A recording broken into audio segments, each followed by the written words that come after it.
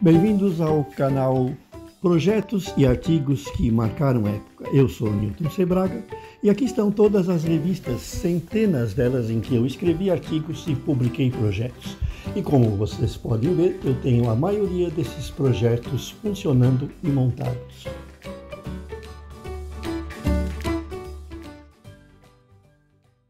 Mais um projeto interessante para vocês nessa nossa playlist dos artigos e projetos que marcaram época.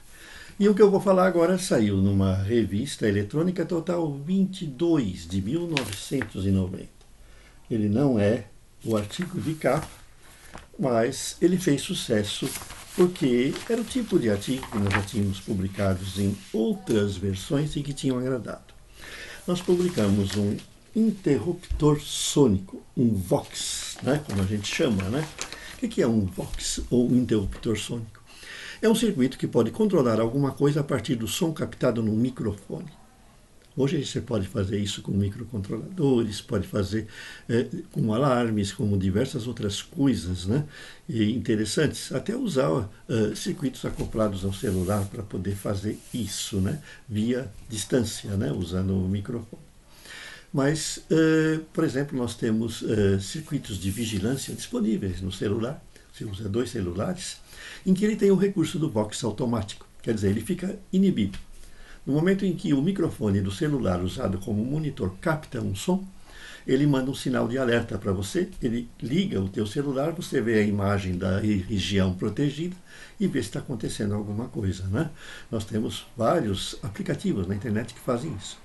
Mas na época que eu publiquei isso, não tinha nada, não existia esse tipo de recurso. O celular não era popular naquela época, estava começando. Mas era interessante, porque, olha, conforme vocês podem ver pela abertura do artigo, você podia usar ele para acionar um gravador de modo automático. Disparar o flash de uma máquina fotográfica. Naquela época existia ainda a máquina fotográfica tradicional, né? Ou então você pode fazer um sistema de aviso que quando toca o telefone ele dispara uma campainha remota, certo? Se o telefone toca baixinho e você está lá no fundo do quintal da sua casa, pode ter uma extensão do, da, da campainha do telefone da chamada e você podia, poderá, podia usar esse circuito. Né? Então ele fez sucesso. Fez sucesso, né?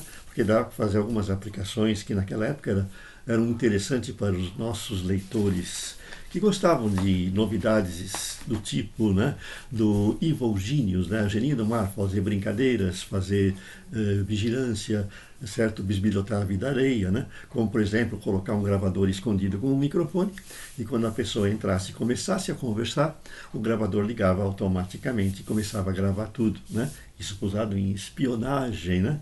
Ou ainda quando a pessoa entrasse num lugar e fizesse algum tipo de barulho, disparava o flash de uma máquina fotográfica e tirava uma foto da pessoa. Lembra-se? Nessa época o popular era praticamente um privilégio de muito poucos, né? E o celular daquela época ele era só o celular. Quando começou, vocês devem saber disso, né? Quando o telefone celular começou, ele era só um telefone celular. Não tinha máquina fotográfica, não tinha os recursos de WhatsApp, não tinha acesso à internet, não tinha nada disso. Esses recursos foram sendo criados gradativamente. Né? Hoje a gente tem né, o que a gente chama de convergência. Todos os diversos dispositivos que no passado eles eram coisas separadas, hoje estão num só, no teu celular. Por exemplo, o gravador hoje está no celular. A máquina fotográfica hoje está no celular.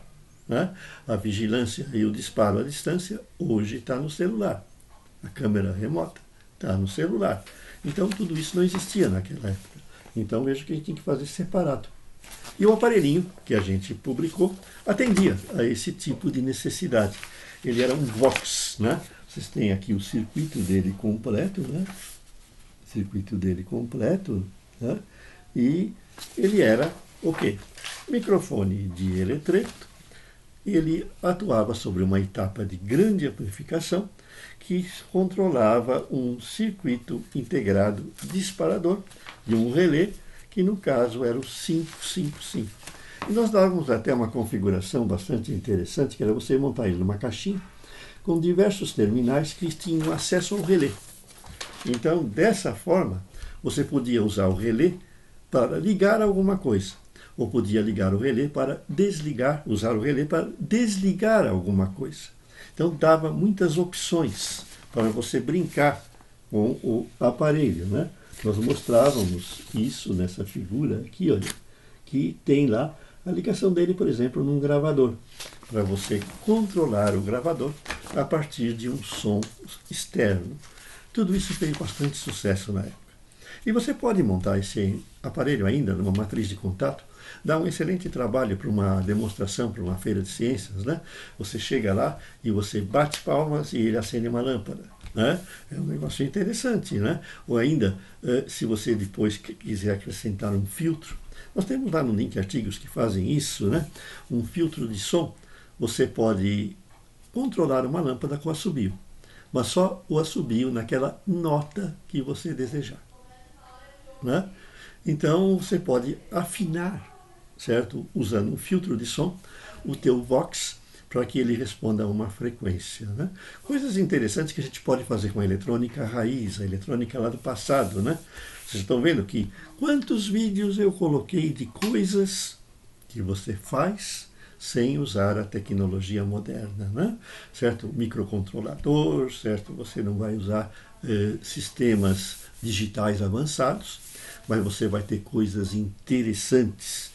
Então, por aí você pode imaginar como a gente se divertia na época, né? Lá dos anos 70, quando eu comecei, um pouquinho antes, até agora. Porque tem muita coisa ainda que você pode fazer para aprender eletrônica usando componentes básicos, né?